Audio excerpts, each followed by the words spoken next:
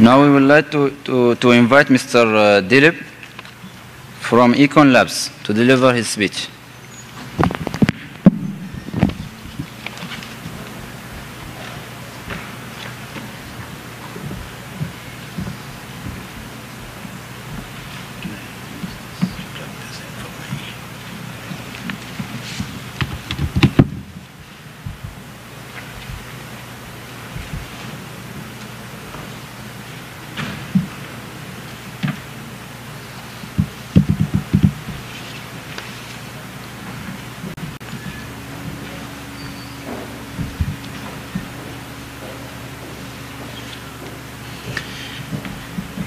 Yeah, good afternoon, everybody. It's good to see a lot of empty seats, so I'll make this quick. I've been told to make it quick. I'm used to walking around and talking, but being an academic institution, I have to follow rules. Uh, so I'm here to talk about something quite different from what many people have been talking here. Uh, bit about the company is called Aikon Labs, a startup. Um, I know I look a bit older than normal people who start up, you know, youngsters who do this. Uh, but yeah, I, I, promise you, other than me, everybody else is a young person in my team, boy, boy or girl. Uh, the product is called iEngage. I know the uh, leaflet says, the pamphlet, uh, pamphlet says that it is uh, Verve. We, we did have solutions by that name. Uh, you can check out iengage.io. I'll talk about that a little bit more. Uh, I just had a question. How many of you are students, research scholars, PhD students, or show of hand, please? Students? Okay, good. How many of you doing startups? Wonderful. So yesterday there was a roadmap which was presented here talking about how entrepreneurship and innovation is important for helping the economy of the country. And it's true that uh, some of the best startups around the world have happened when the economy has been down. So if, if you know, in India it is booming, uh, startups are happening every day uh, where I come from. And if you're going through a, a, difficult period in your economic situation, this is the best time to start up. Uh, let me just quickly get into, uh, I will not talk about my product here. It's, it's called uh, iengage.io. It's about engaging your customers. Could be any, any anybody.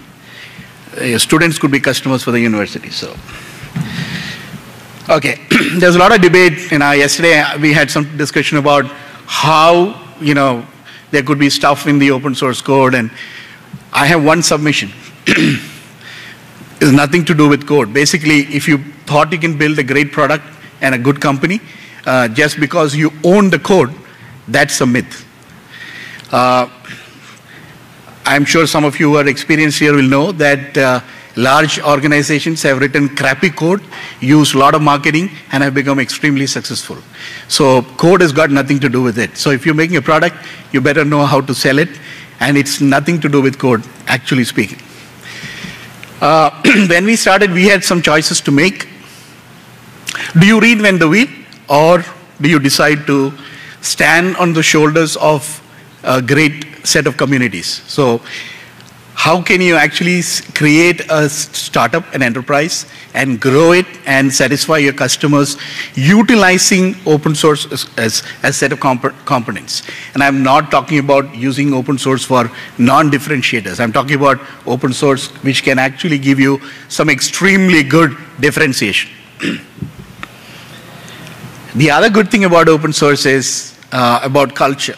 Uh, I think uh, I'll talk about it in the next slide, but it's extremely important. You got to decide if you're starting up. Uh, one gentleman put, put his hand up and said he's going to start up or he's already started up. If you're using open source, I can guarantee you, you're going to have a phenomenally great team if you get them to adopt the open source culture. And again, it's not just about code.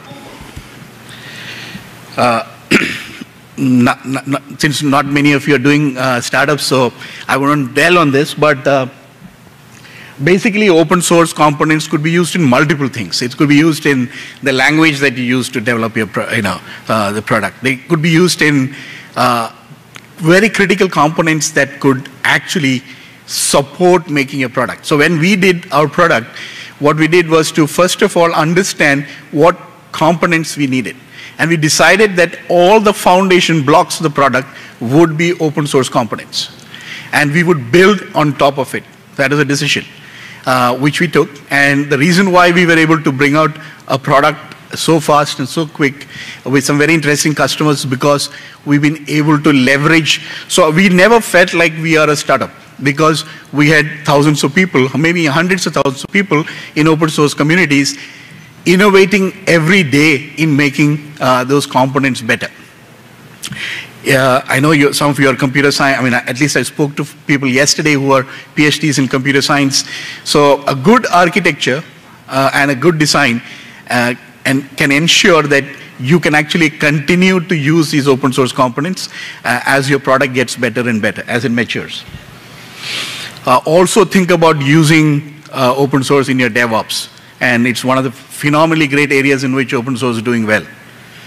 Uh, which is, you know, I mean, people are talking about get, get your product fast in front of your customers, get hit by your customers, get their feedback, and make changes, come back to the market again with a new version. If you want to do that, you better have DevOps. So I talked about, I'll skip this, basically various languages, various databases, frameworks that you can use for the user interface and the, the backend, in your object relational mapping. I mean, you can go on and on. You could use uh, open source for IDE on a DevOps side, compilers you want to use, you know, repositories, managing your uh, repositories, testing and, and stuff like that. Uh, so when we went about uh, how do you select? Because open choice actually uh, open source actually spoils you for choice. There's so many communities. If you want a, a building block, you'll find 10 communities doing it. So it's very important for you to be able to evaluate what you want to pick up. So uh, we used about 14 criteria looking at each of those open source communities handling those components and decided which ones we want to go with. We also joined the community to understand what is their culture, whether we love you know, utilizing their code because it's your choice. It's your company, it's your startup. And if you want to do a startup, uh, you better feel excited about it. And that's what we did. So, uh, the other thing you need to look at, I mean, there are multiple things you can look at. How long has the community been there as an open source community? How long have, uh, you know, they've been continuously releasing code? What's the longevity? How much of, you know, you can even look at the bug density that, that open source community is producing. You can really evaluate in detail. You know, uh, uh, any one of you interested? Uh, I'm not sure whether uh, how many would be interested, but if you're interested, I'm available. You can we can have a long discussion on how this can be done. And the other thing is about licenses. Just because you have uh, you're using open source doesn't mean everything is. So there are flavors and you know gr granularity in what you would use as open source licenses. So you need better be careful what license you're going to use for your open source project, because if you use incompatible licenses, you're going to have a problem. Uh, I mean, and it's something for some legal folks to help you with. Based on your business model, uh, the license could be different. So it's it's a it's actually a uh, an issue that you need to think about. I mean, are you going to have a software uh, that you're going to have on a SaaS model, or are you going to distribute the product to uh, all over the world? So if you're a startup, you need to think about that, and, and that, that will also help you decide which open source components to pick up. Uh, so a little bit about the product. Um, it's and it's a funny product because there is no user interface. It's a it's a set of APIs services that help you to engage your customers. Okay, you can go to iengage.io. You can use your, I mean, for 30 days it's free. You can actually use your credit card, subscribe, and start using uh, the, the APIs. You can try it out. Uh, we're happy to get some feedback from those of you who are going to use it. Uh, the product in, in quickly um, is uh, a channel which basically handles all kinds of interactions. Uh, the assumption is that everybody is talking about digital transformation, and on one side you have ERPs and CRMs and um, your PRMs and HRMs and stuff like that, and academic systems. All of them have been built for managing transactions. which is wonderful. They're a great piece of software and it's not going away. But now you have customers with smartphones on the website using Twitter handles, using your Facebook page. They're gonna, they are hitting you from everywhere and they're disappointed. So employees are disengaged. The research shows that at least 80% of employees are disengaged. Customers, after they become your customer, are not engaged. So the whole pro product is about how can you utilize certain things to engage your customers, whoever they are. Uh, we use um, we use AI, and AI for us is not artificial intelligence alone. We call it augmented intelligence. So we combine human intelligence with machine intelligence. we're doing some nifty stuff. Many of our folks are not, un uh, fortunately, unfortunately, not engineers. Many of them are mathematics postgraduates or dropouts in mathematics or hackers who basically are, are excited about what we call it's, it's a revolution of the algorithm. We think that is going to change the world, you like it or not. So we are in that, that, that game. We also have a process engine by which you can define how you want these interactions to be handled. Because you have those proprietary software which costs, in yesterday somebody was talking about millions of reals, and you obviously are not going to buy too many licenses. So you can use this as a distribution box to be able to connect to your source of interactions and pass it on to various entities who are interested in knowing what's happening uh, with your customers or other stakeholders. And then of course, uh, like the economy, engagement always is up and down. So we have a rewards and recognition mechanism which you can use to actually start doing some amount of gamification. Uh, badges, privileges, uh, you know, even redemption of points. So some interesting stuff there. If those who are interested, I can explain this. I skip through this. This is what I talked about. On the left-hand side, um, you see uh, all the channels, which is uh, Yammer, Slack, you know, you, you know all of them. And any input could come in, and this could come in in audio, video, images, text, doesn't matter. And once it hits this, uh, this channel, we can actually tell you what kind of interaction it is. Yes. I'm done, last slide. Uh, and what kind of interaction that goes in there. And, uh, and on the other side, you have the traditional uh, systems that I talked about.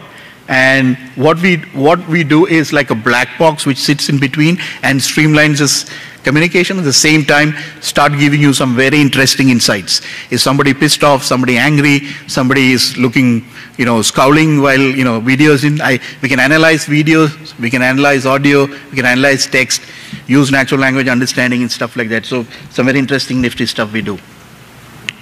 We use tons of, and by the way, this is not OS being used.